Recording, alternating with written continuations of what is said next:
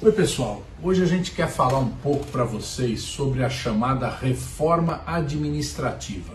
A PEC 32 é uma proposta que produz intensas e importantes alterações no regime do funcionalismo público em nosso país.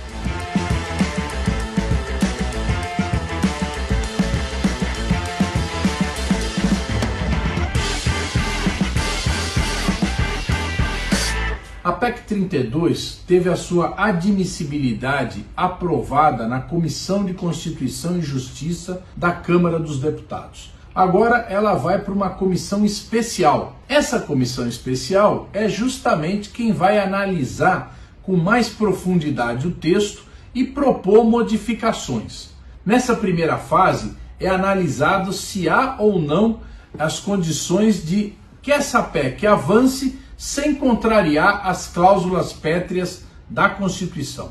Olha o que está em jogo. Essa PEC ela modifica todo o sistema do funcionalismo público em nosso país, principalmente alterando a estabilidade no emprego para a maioria dos funcionários públicos. Apenas aqueles funcionários públicos considerados carreiras típicas de Estado, ou seja, que não encontram nenhum paralelo em outras atividades profissionais do país é que terão a sua estabilidade garantida. Os demais trabalhadores do funcionalismo público não terão essa estabilidade.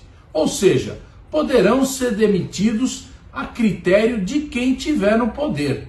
Lembre-se, essa PEC cria as condições de funcionamento de todo funcionalismo, seja municipal, estadual ou federal. E, consequentemente, o caso, por exemplo, dos professores.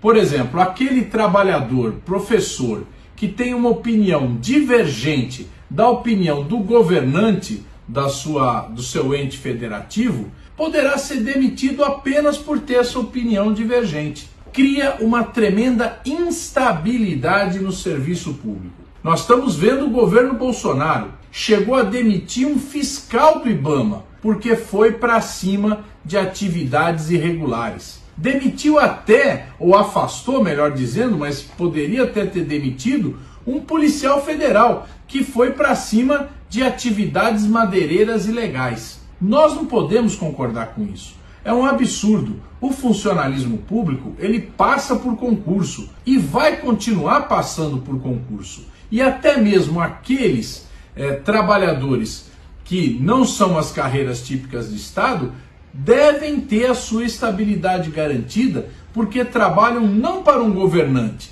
mas para um governo. E isso vale para o pessoal da saúde, o pessoal da educação, o pessoal da assistência social, para quem cuida da infraestrutura do nosso país. Enfim, deve servir para todos, para terem a liberdade de exercer em condições e com responsabilidade o seu trabalho.